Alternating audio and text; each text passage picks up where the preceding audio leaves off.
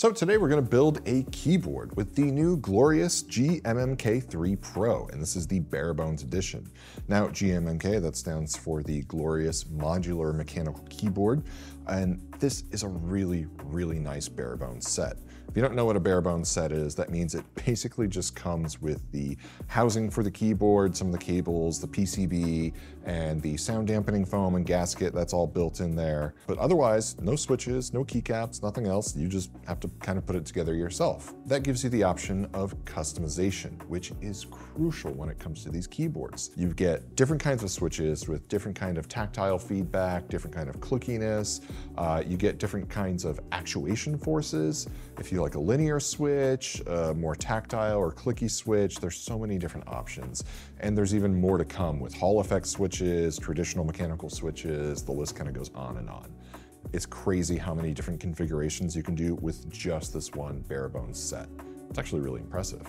So the set that we're gonna be using today, obviously it's going to be this black version of the GMMK3 Pro, and we're going to pair this with the glorious Mako switches. So these have a 45 gram actuation force, and it even says here on the box, which I really like, it kind of gives you all of the highlights. It gives you an idea of how noisy or clicky they are. They call it about a medium noise.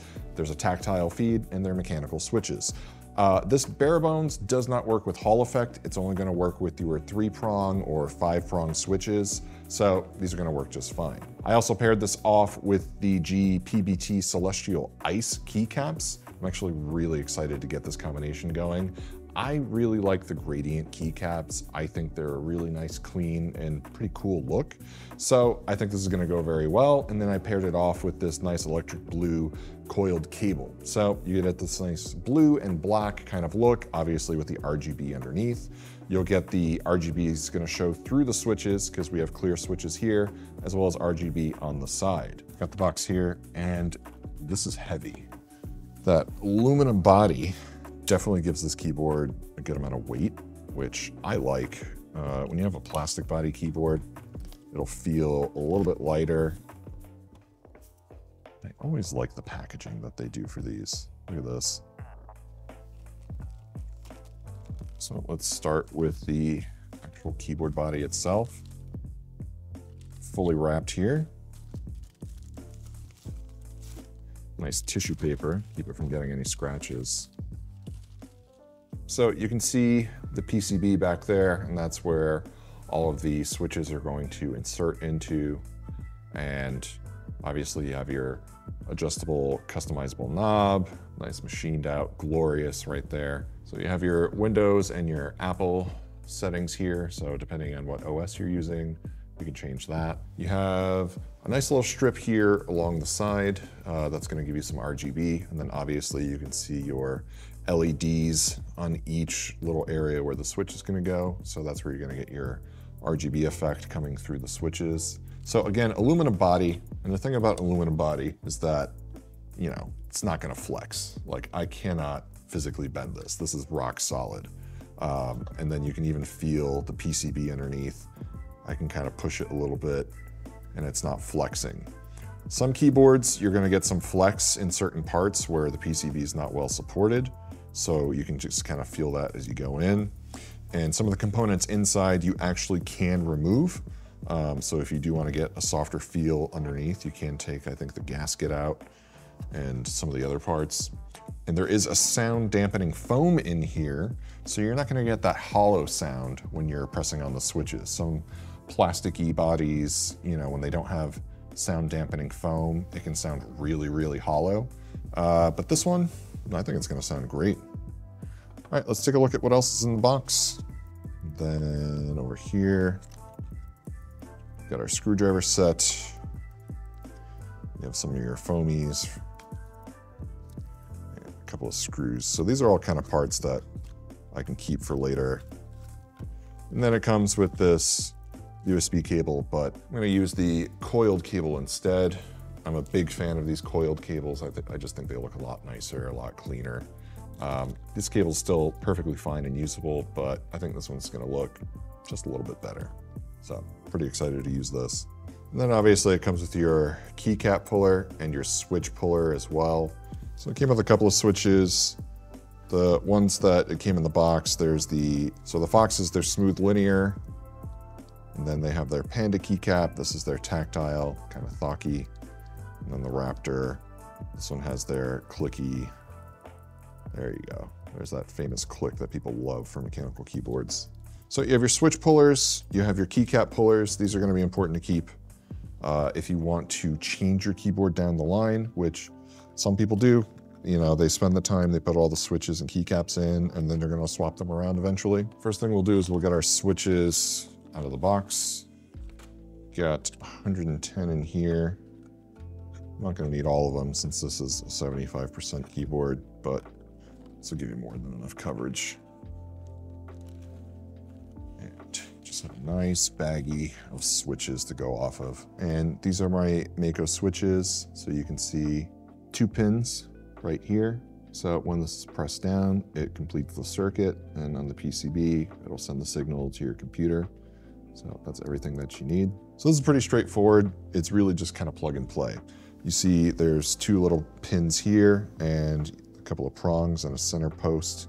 You're just gonna match all of those up. The pins are gonna be on the bottom and it literally just pushes right in.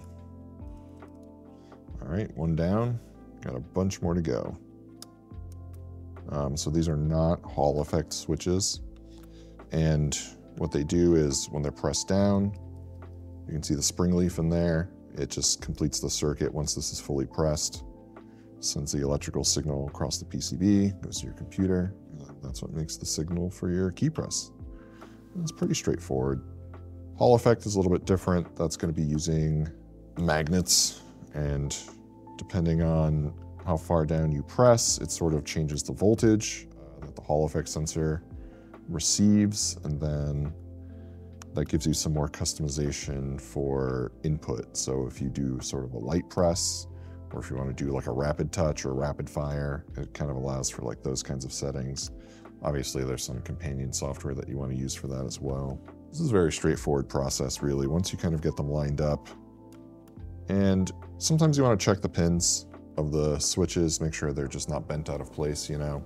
If they're slightly bent out of place, you know, from being in the bag or from transportation, as you push them down, it can cause the pin to sort of bend over or even break. Fortunately, I don't think we're gonna have that issue because frankly, these are made very, very nicely. This bare bones does have a modular gasket system, so you can change the gasket out inside. Um, the amount of customization that's available with these keyboards is absolutely crazy. You can customize every little thing to your liking. Obviously, if you go to Micro Center, you can go inside, you can try out different keyboards. Uh, we have all different switches on display for you to test out, and you can kind of get a feel for what you like. I really like linear switches, just a classic kind of cherry red or fox switch, you know, if you have glorious switches, just a simple red linear switch. I find that works just fine for me. You know, tactile switches are kind of nice if you find you have heavier fingers and you find you're pressing down too hard. Because you have to remember, I mean, this is sort of an extension of your PC, right? If you're gonna spend $1,500, $2,000, you know, on your PC, um, especially if you're like really big into gaming, you know, you don't want a $5 keyboard. That's, it's the way you interact with your PC. It's the physical part of your PC that you're touching every single day, keyboard and your mouse. And so a good keyboard and mouse, they go a long, long way. But something like this, especially something that you can kind of put together yourself, you know, if you built your own PC, might as well build your own keyboard too, right? All right, last one, gonna be the escape key. There we go. Can't do much because there's no keycaps on there, but you can kind of hear it. You can hear it a little bit. I'll put the mic up. Check, see how the RGB looks. This is the USB cable that came with the keyboard. Look at that. So no keycaps on, just the switches, but you can see the RGB, RGB on the side. That looks really, really nice, especially if you're gonna be gaming in sort of like a dark room. You know, this illumination that comes on the side, this will illuminate the mouse, that'll illuminate the other side. So that's gonna look really, really nice. I think this should be the function key, and there we go. That should let me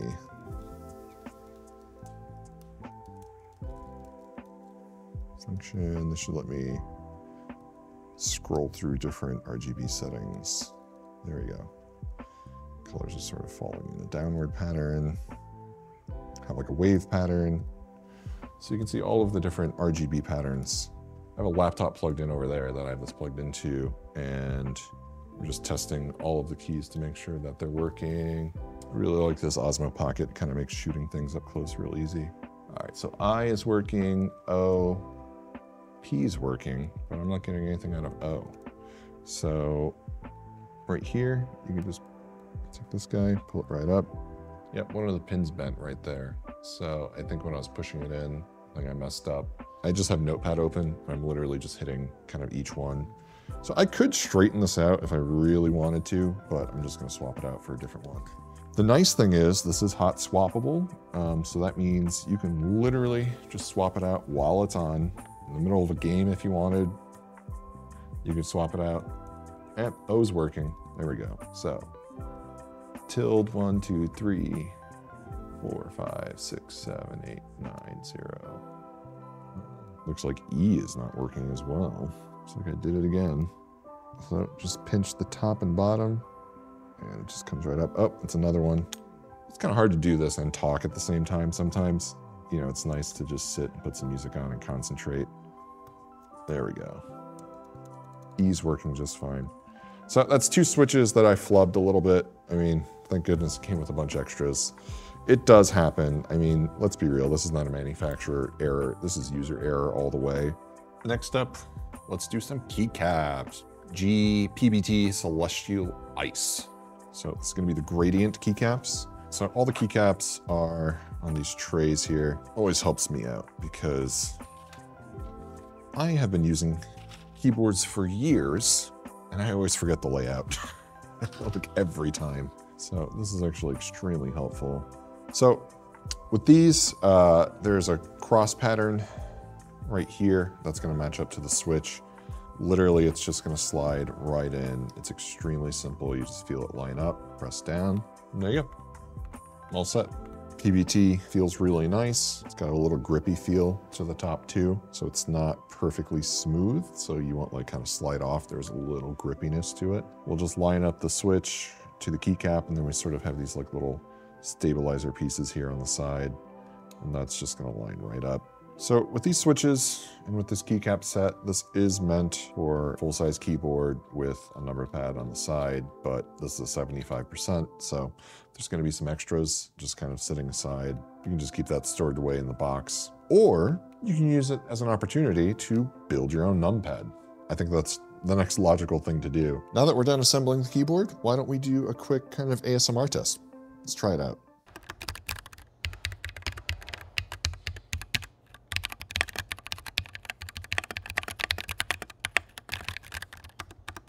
I think that sounds amazing.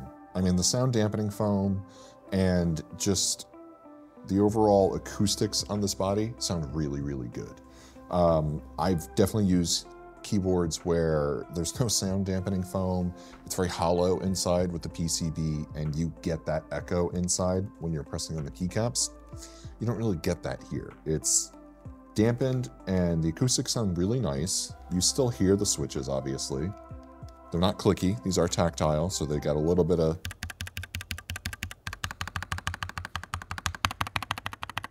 you can hear that, right? But unlike some clickier switches, it's not overly annoying.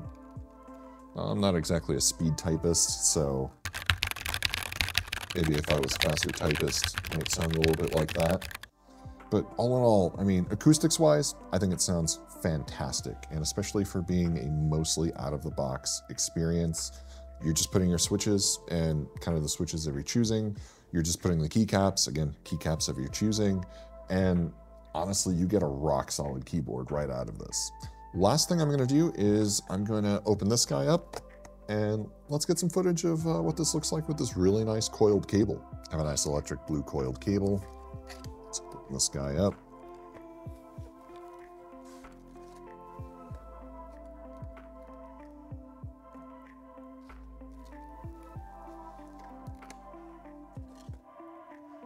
What I really like about these coiled cables just makes it look so much neater. Obviously, you can stretch it out if you really need it, but a lot of the length is going to come from this portion here, and it just connects straight away.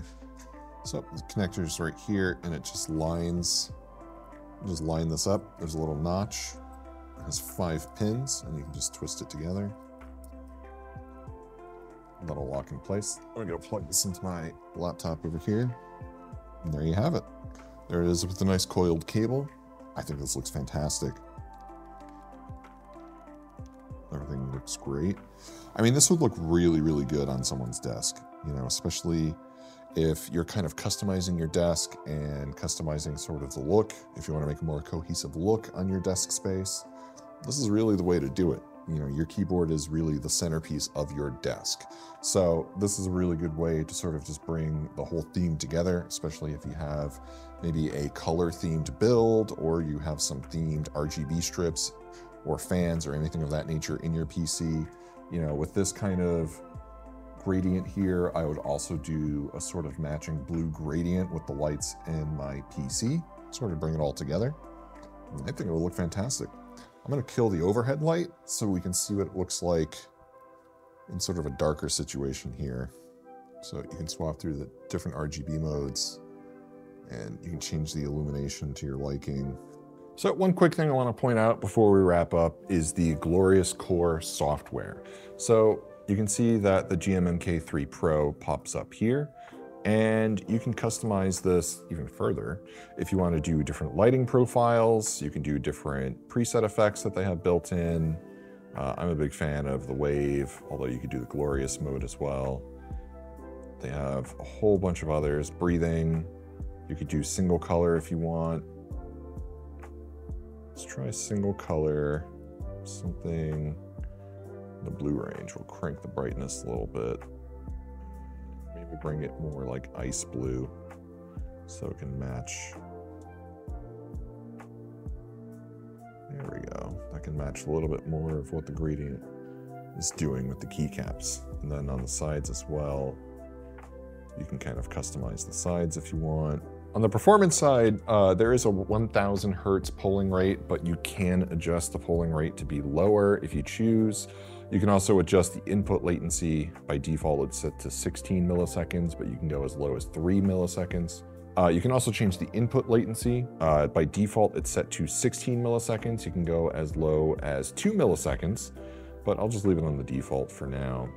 And obviously you can do any macros and any sort of shortcuts and other kind of custom functions that you would like to do with your keyboard, as well as customizing the knob. I always like it as just like a volume slider. I always think that's kind of handy to have. Uh, you can have different profiles that you can swap through and save. So using the software definitely helps a lot with further customizing your keyboard. And I think this glorious GMMK3 Pro bare bones has been just really awesome to work with. I like this a lot. I'm very happy with the way that this keyboard came out. And what I really like about this is how solid and rigid it feels. There's no flex when I'm pressing in. I don't feel the PCB flexing in the frame of the body there. I can just feel all across the board. It's really, really solid. So sometimes with some, you know, cheaper keyboards, there's gonna be a little bit of flex there when you're pressing down. But Again, this is completely solid. And if you wanted, you could open this up. You can take out the sound dampening foam if you want it to be a little bit louder when it comes to the thockiness and noise that you're getting from the switches. Um, you can customize the gaskets. You can customize a couple of other things. So just remember that not just the hardware side, there is the software side as well. So there's full customization all across the board. And remember, you can get this at your local Micro Center. We have these ready and available as early as this week. So stop on by, check it out. Check to see which kind of switch that you like to use. Let us know in the comments below what your favorite mechanical keyboard switch is.